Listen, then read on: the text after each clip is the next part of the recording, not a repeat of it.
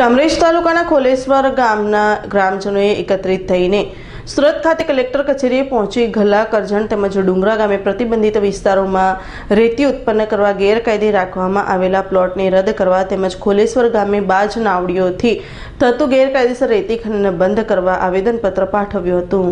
કામરેજના ગલા ગામે રેતી ગ્રેવલ કાઢનારી સહકારી મંડળી દ્વારા સુરત સર્વે નંબર સડસઠ, તોતેર અને ચુમ્મોતેરની સામે તાપી નદી પટમાં ચાર લાખ હેક્ટર વિસ્તારમાં સાદી રેતી તેમજ ખનીજની ક્વોરી લીઝ આવેલી છે, જે લીઝ અગાઉ કાર્યરત હતી અને રેતી ખનીજ પરિવહન પણ ઘલા ગામથી થઈ રહ્યું હતું. તેમ છતાં, રેતી લીઝ ધારક દ્વારા ઘલા ગામેથી રેતી ખનીજનું પરિવહન કરવા કરજણ ગામની ખાનગી માલિકીની સર્વે નંબર ચોત્રીસમાંથી પરવાનગી માંગવામાં આવી હતી. જે બાબતે ભૂસ્તર વિભાગ દ્વારા જે તે સમયે પરવાનગી આપવામાં આવી ન હતી, તેમજ તાપી નદીમાં ઉપરવાસ એકવીસથી ત્રીસ કિલોમીટર સુધી પ્રતિબંધિત વિસ્તાર છે અને આ વિસ્તારમાં સરકાર દ્વારા રેતી ખનન માટે પ્રતિબંધ મૂકવામાં આવેલો છે. તેમ છતાં ભૂમાફિયાઓ દ્વારા ગેરકાયદે રેતી ખનન શરૂ રખાતા.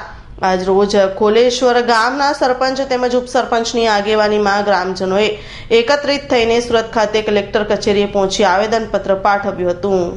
આજે કાલેશ્વર ગામજનો અને સરપંચ જે આજે અરજી લઈને આવેલા છે ગેરકાયદે ખનન ખનન બાબતે, તેની અરજી કલેક્ટર સાહેબમાં અને ખાણ સાહેબમાં આપેલી છે. તેની કાર્યવાહી આગળ હાથ ધરશું.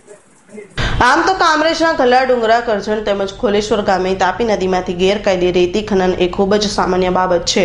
ભૂસ્તર વિભાગ દ્વારા અવારનવાર ત્યાં રેડ કરી રેતી માફિયાઓ વિરુદ્ધ કાયદેસરની કાર્યવાહી પણ કરવામાં આવે છે. પણ સુધરે એ બીજા હજી તો ભૂસ્તર વિભાગના અધિકારીઓ રેડ કરીને સુરત ન પહોંચે તે પહેલા તો ગેરકાયદે રેતીનું ખનન ફરી શરૂ કરી દેવામાં આવ્યું છે. સુરેશ રાઠોડનો રિપોર્ટ બારડોલી.